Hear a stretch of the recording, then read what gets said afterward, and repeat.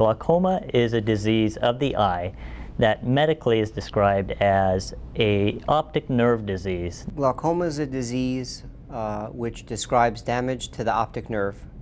The cause of that damage is generally elevated pressure in the eye. The analogy I use in this scenario is that the inside of the eye basically has a faucet, like your sink at home would, where in this case though the faucet is always on, but the eye has a very nifty drain that's built in to let that fluid out.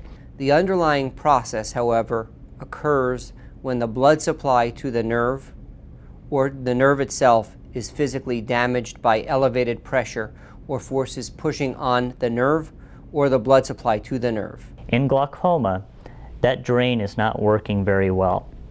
We find that in the general population, over time, just wear and tear on a body, that that drain gets clogged up over time. And so in most people, the pressure can slowly rise over time, which is one of the reasons why it tends to be a much more common disease in the elderly population.